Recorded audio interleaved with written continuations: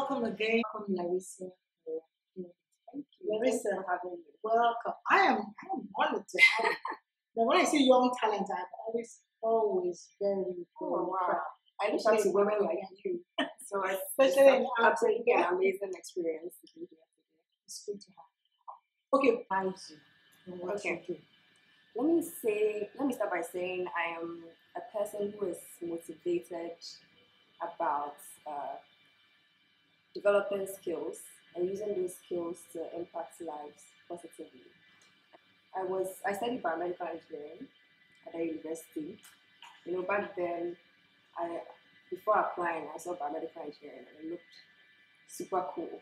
Yeah. And I was privileged enough to have parents who allowed me to study engineering because I knew that lots of females don't get that opportunity. I was one of four females in my class of about 40, Wow. and it was pretty intimidating. And uh, I decided to do something about it. So when I graduated, I I was trying to figure out what other women in the space were doing. Because I also found out that there weren't many jobs for biomedical engineers in the country.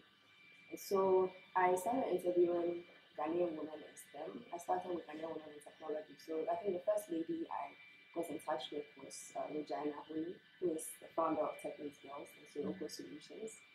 And uh, she, I volunteered for Tech Needs Girls and she introduced me to other women in the space. And so I interviewed them and it was a snowball effect. I, I started interviewing other women and people started noticing and it's like, hmm, I think I have something here. so that was the beginning of uh, Levers in Heels. Um, so after I graduated, I, I thought my, while I was doing that, I was teaching myself how to code because I was You were I- teaching yourself how to code. Yeah. because I, I realized that I had passion for technology. Yeah. And so that landed me my next job at ServNet Africa.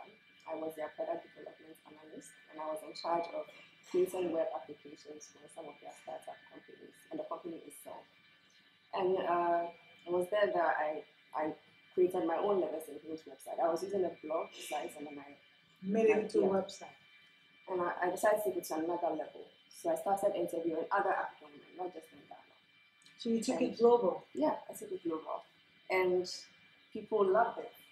And I, I, I started some mentorship programs on the side. I interviewed uh, some wonderful ladies studying science. I mentored girls at the African Science Academy. Um, so I got a call, was invited to the African Science Academy to mentor these amazing young girls. I organized a video conference call with them uh, with one of the ladies I've interviewed. She's an entomologist. She studies insects. And um, it was a unique experience. The, the girls really loved it. We also had um, an ROV pilot, another lady that I also interviewed. She shared her experience, and I also shared my experience, and I guess they found it interesting. And yeah, here I am today, and I'm also a project coordinator. Actually, what happened was because of Levers in Heels, and let me also say that I believe everything happens for a reason. Because of Levers in Heels, I was able to land a job at the British Council. They were looking Wow. for a project coordinator to organize um, STEM Girls Camps. It was in partnership with Vodafone Ghana Foundation. And so I applied and I got a job. Interesting. Yeah. Here are your career tips. It could be one, it could be two. What are the tips that I have helped you? Okay, so the first one is try and figure out what interests you and develop skills to pursue what interests you.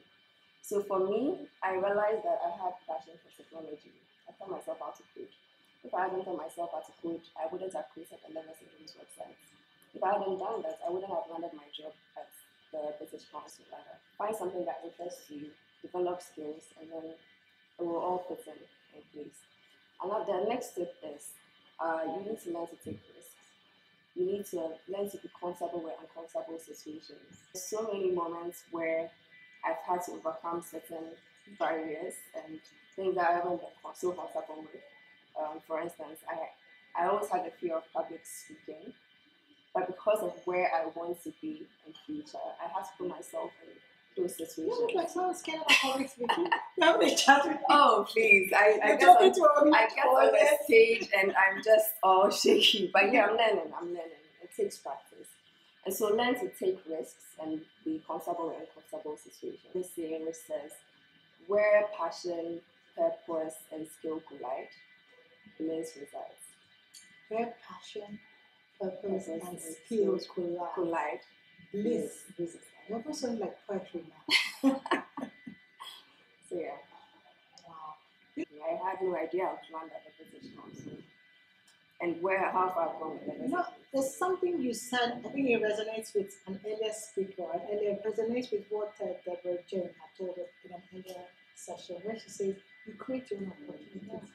Because we're all waiting for that job, that business that'll come our way. That's my start. advice to other young women. You need to start something. If you are not finding whatever opportunity, Create the whole create the opportunity yourself. Yeah. Yeah. So it, it's really wonderful. I'm really, really happy that you're here. I'm really, really And grateful. that's that's really what I'm passionate about. Impacting lives through what I do, through the skills that I develop. Whatever skills I develop, I try as much as possible to influence the lives of people. Guys, if you have questions for Larisa, you can post them on our YouTube blog. We'll give also her social media handles and also her website so people can contact you. I'm, I'm actually watching out that you're going to be one of the great leaders for Africa. And she is one of the rising stars of this continent. And I'm really grateful you came for this session. Thank you for having me. Thank you for coming.